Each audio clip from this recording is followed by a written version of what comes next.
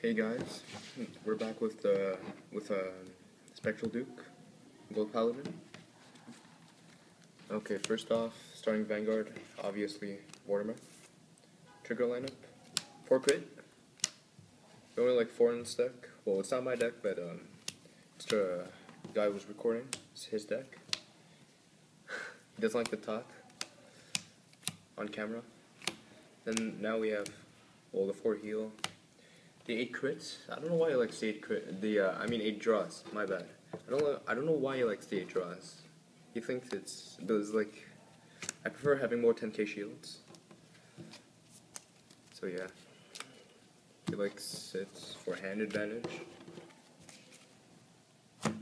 Grade ones.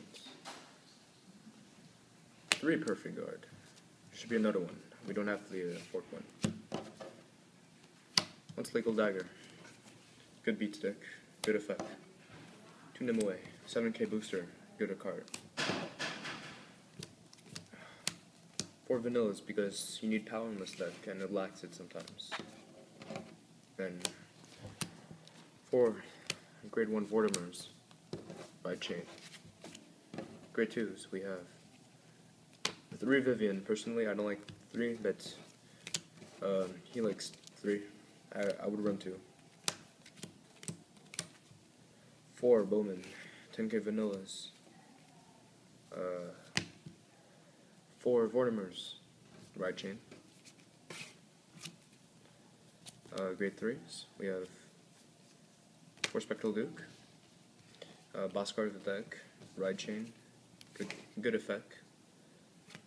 I don't like its its uh, the shininess of this card. It's better in uh, Japanese. It's not really good how it's shiny, like the pattern of the foil. Now we have two Garmore, and then two Destroyer. Two Garmore, uh, it's good as a if you don't get the Spectral Duke, so this is good. These are good in rear guards for uh, if you go 20k with uh, vanilla, so that's good. So thanks for watching, guys.